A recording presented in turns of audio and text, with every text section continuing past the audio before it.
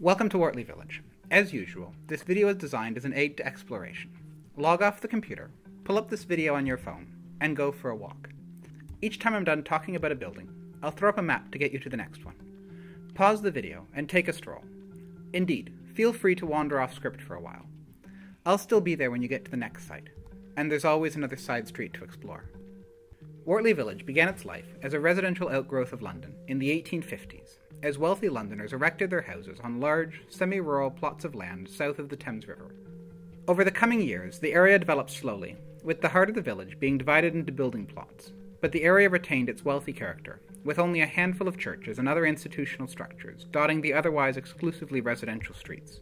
The development of the area proceeded slowly, prodded along by the extension of London's streetcar system in 1889 and annexation to the city in 1890.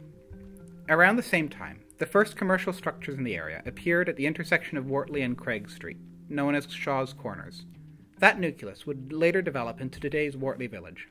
Our walk today begins at the intersection of Wortley and Elmwood. The impressive Victorian building on the southeast corner of Wortley and Elmwood was built in 1899 as the London Normal School Designed by Francis Heakes, the structure is a fine Romanesque building, whose tower dominates Wortley Village, and whose stone carving is well worth exploring.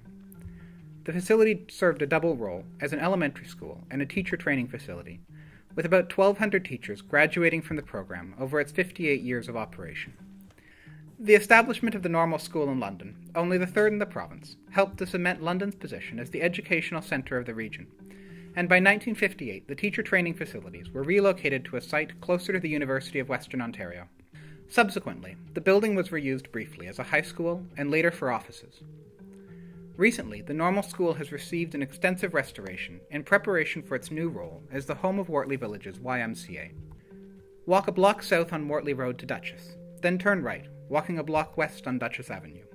The church on the northeast corner of Duchess and Cathcart was built as St. Martin's Roman Catholic Church by the firm of Moore and Munro in 1912. The parish was London's third Catholic parish, built to serve the growing community in London's South End. Immediately to the east of St. Martin's Church, St. Martin's Catholic School was erected to complement the church in 1930 and has been an active Catholic school ever since. Turn right and walk a block up Cathcart Street to Elmwood. At Elmwood, turn left and walk west. You're looking for the small church set back from the street on the south side of Elmwood. Elmwood Avenue Presbyterian Church was founded in 1925 by members of Knox Presbyterian, outraged at the decision of that congregation to join the new United Church of Canada. The new parish purchased Woodlawn, an 1877 residence, on a large lot, and erected their new church next to the residence in 1926. The original residence survives as the church's Sunday school and church hall. Continue walking west on Elmwood Avenue to Edward Street. Turn right, walking a block north on Edward to Bruce. Right again, walking a block east on Bruce to Teresa. And then left, walking a block north on Teresa to Askin Street. Wesley Knox United began its life as the New Brighton Methodist Church, a wood frame structure erected in 1875. The congregation grew along with the surrounding area, and five years later, in 1880, they hired Samuel Peters, London's first resident architect, to design the present elegant structure. At the same time, the congregation was renamed the Askin Street Methodist Church. The Salvation Army traces its Canadian roots to a meeting held in the church in 1882. Absorbed into the 1925 Union of Canada's Presbyterians and Methodists, in 1972 the parish merged with Knox United and elected to adopt a new name honoring the founders of both Methodism and Presbyterianism. Turn right, walking east on Askin Street. You're looking for the large church on the south side of Askin Street. St. James Westminster traces its roots to 1869, when an Anglican congregation was established in the south end. The present buff brick Gothic structure was erected eight years later, in 1877, to plans by the London architectural firm of Robinson and Tracy. The parish's tower has been a neighbourhood landmark from the moment it was constructed, while the remainder of the church has been expanded repeatedly most notably in 1897 and 1927 when the parish hall to the west was constructed. Continue east along Askin Street to the intersection of Askin and Wortley Road and turn right. Starting in the 1890s, this block of Wortley Road developed into a commercial strip serving local needs. The intersection of Wortley and Askin was once known as Shaw's Corner, a name which dates to the establishment of a grocery store and post office on the southeast corner of the intersection by George Shaw in 1872. Later, the area came to be known as New Brighton, and more recently as Wortley Village. Continue south along Wortley Road.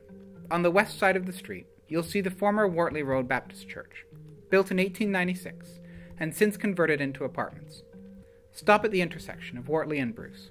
The recent apartment building, on the southeast corner of Wortley and Bruce Streets, stands on the site of Knox Presbyterian. The area's Scots were late to establish a congregation, with Knox Presbyterian not being established until 1883. In that year, however, they engaged architect George Durand to design a substantial brick Gothic building which would house the congregation for its entire existence. In 1925, Knox Presbyterian voted to join the newly established United Church of Canada, prompting the establishment of Elmwood Avenue Presbyterian by a dissenting group at the parish. Knox United merged into Wesley Knox in 1972, and the structure went through several new owners before being demolished. Walk a few doors east on Bruce Street. You're looking for 160 Bruce Street, on the north side. The building at 160 Bruce was built in 1891 as the number 3 fire hall. The city had promised fire protection to the area as part of the negotiations leading to the 1890 annexation. The outline of the double doors for the fire trucks can still be seen on the structure's facade. On the east side of the building, you can see the base of the building's tower poking out of the roof. At one point, the tower was used both to house the fire bell and to dry hoses after use. At this point, you could return to Wortley Road and walk a block south on Wortley to return to the beginning of the walk. If you're interested, however, several of the area's original estates survive to the east. Continue east on Bruce Street to Marley Place, then south a block on Marley to Elmwood. Turn left on Elmwood. As you pass, note 198 Elmwood Avenue, a simple Georgian residence built in 1848 and one of the oldest structures surviving in the neighborhood. Cross Ridout Street and walk half a block south to Grand Avenue. You're looking for the elaborate Victorian residence at 10 Grand Avenue. Waverley was built by Charles Goodhue in 1882. Goodhue was the son of George Jarvis Goodhue, London's first millionaire, and while Charles had occupied the site since 1866, it wasn't until his father's death that the money existed to erect a large residence on the site. Charles Goodhue engaged London architect George Durand to design the residence, and Durand appears to have taken full advantage of the opportunity to indulge his taste for the picturesque and the ornate. The house was dramatically expanded to the rear in 1898 when it came into the possession of oil magnate Thomas Smallman, and today serves as a retirement home. Immediately to the east of Waverley is Idlewild, erected in 1879 for Charles Hyman and expanded several times since. Charles Hyman was a prominent Liberal politician at the turn of the century and a close friend of Wilfrid Laurier until his death in 1926. Hyman was a successful cabinet minister most notably as Minister of Public Works, and at one point was widely regarded as Laurier's natural successor as Prime Minister. His residence's various expansions interact to give it an eclectic appearance. Continue east a block on Grand Avenue to Belgrave Street. The southeast corner of Grand and Belgrave was once the site of the McCormick Mansion. Erected in 1883 to plans by Samuel Peter and Son, the towered Victorian residence was one of London's largest residences, built for the man who had founded McCormick's Biscuits a successful London confectioner.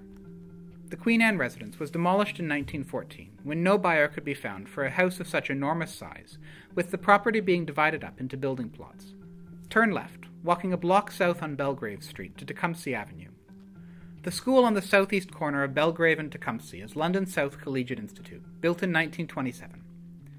The first high school in the area had been established in 1921 but for six years the school had been housed in temporary quarters in a former elementary school on Askin Street. The school originally boasted 13 classrooms, with an additional nine classrooms being added a year after the school opened. Walk a block east on Tecumseh Avenue to Langley Street. The school on the southwest corner of Langley and Tecumseh is Tecumseh Public School. Built in 1915 to plans by London architects Watt and Blackwell, the school was one of three London schools designed by the firm that year, the others being Aberdeen and Boyle Memorial, both in London's East End. The three schools were near identical structures, boasting a simple classical facade. The protruding half octagon on the east side of the structure was designed as the school's kindergarten. From Tecumseh Public School, walk a block further east along Tecumseh to High Street. Turn left and walk a block north on High Street to McClary Avenue. The house on the southwest corner of High and McClary is the McClary Residence, erected in 1864 for John McClary, the founder of McClary Manufacturing, a maker of stoves and other iron products. The residence is an impressive Italianate building, topped by an enclosed widow's walk. The two houses immediately to the north, on the northwest corner of High and McClary, were built in 1877 as wedding presents for two of John McClary's daughters. This brings us to the end of our Wortley Village walk. To return to the beginning of the walk, head a block north on High Street to Grand Avenue and turn left. Walk four blocks west on Grand Avenue, and following a short jog north on Ridout Street, an additional two blocks west on Elmwood Avenue. Alternately, you could return to Tecumseh Public School and spend the day exploring the pleasant residential streets to the west.